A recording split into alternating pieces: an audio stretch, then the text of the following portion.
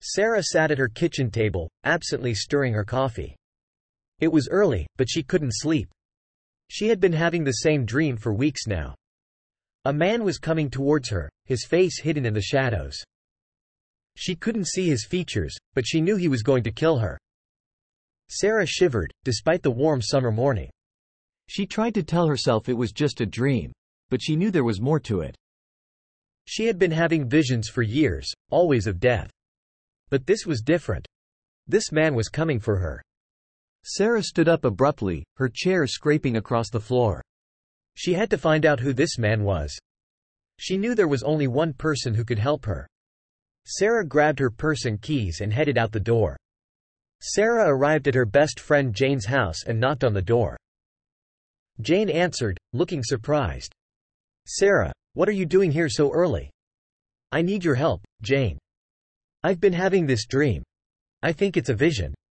There's a man coming for me and I don't know who he is. Jane frowned and opened the door wider, gesturing for Sarah to come inside. Come on, let's have a cup of tea and you can tell me all about it. Sarah related her dream to Jane, telling her every detail she could remember. Jane was quiet for a long time after Sarah had finished.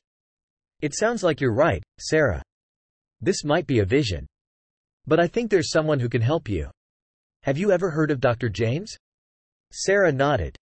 Yes, I've heard of him. He's a psychic, isn't he? That's right. And I think he might be able to help you with your vision. Why don't you give him a call and make an appointment? Sarah thanked Jane and said she would do just that. She made the call and was able to see Dr. James that afternoon. Dr. James was a kind man, and he listened carefully as Sarah related her story. He told her that he believed her vision was real, and that she was in danger. But don't worry, he said. I will help you. We will find out who this man is and why he's after you. Together, we will stop him. Sarah felt a little better after speaking with Dr. James. She was grateful to have someone who believed her and was willing to help. Sarah and Dr. James spent the next few weeks working together to try and figure out who the man in her vision was.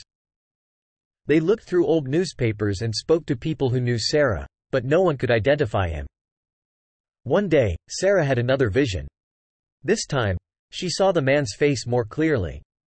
She described him to Dr. James, who said he would do some more research. A few days later, Dr. James came to Sarah's house with a name, George Reynolds. He was a man with a long criminal history, and he had recently been released from prison. Sarah was terrified. She knew that George Reynolds was the man who was going to kill her. Dr. James told Sarah that they would go to the police together and make sure that George Reynolds was put back in prison where he couldn't hurt her. Sarah was relieved. With Dr. James's help, she knew she would be safe. Sarah and Dr. James went to the police station together and spoke to the desk officer. They explained what was happening and showed the officer George Reynolds's picture. The officer said they would bring George Reynolds in for questioning. A few days later, Sarah got a call from the police. They said that George Reynolds had been killed in a prison riot. Sarah was relieved that she would never have to worry about him again. Sarah was relieved that she would never have to worry about George Reynolds again. She was grateful to Dr. James for helping her and was glad that she had finally been able to put the whole ordeal behind her. Sarah and Dr. James continued to work together and helped many people who were in similar situations as Sarah. Sarah and Dr. James eventually got married and had two kids of their own. They continued to help people who were in difficult situations and were able to use their abilities to help others.